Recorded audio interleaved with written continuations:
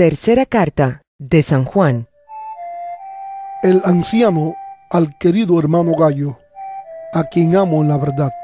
Querido hermano, oro para que te vaya bien en todos tus asuntos y goces de buena salud, así como prosperas espiritualmente. Me alegré mucho cuando vinieron unos hermanos y dieron testimonio de tu fidelidad y de cómo estás poniendo en práctica la verdad.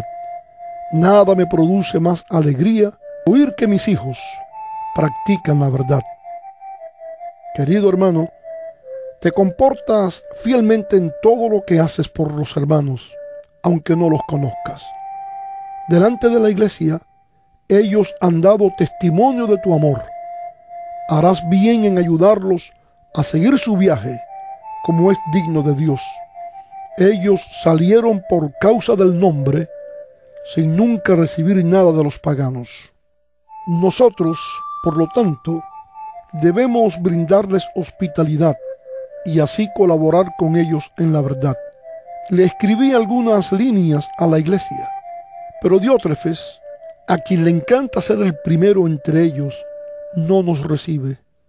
Por eso, si voy, no dejaré de reprocharle su comportamiento ya que con palabras malintencionadas habla contra nosotros solo por hablar. Como si fuera poco, ni siquiera recibe a los hermanos, y a quienes quieren hacerlo, no los deja y los expulsa de la iglesia. Querido hermano, no imites lo malo, sino lo bueno.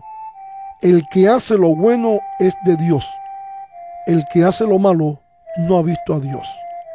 En cuanto a Demetrio, todos dan buen testimonio de él, incluso la verdad misma. También nosotros lo recomendamos y bien sabes que nuestro testimonio es verdadero. Tengo muchas cosas que decirte, pero prefiero no hacerlo por escrito.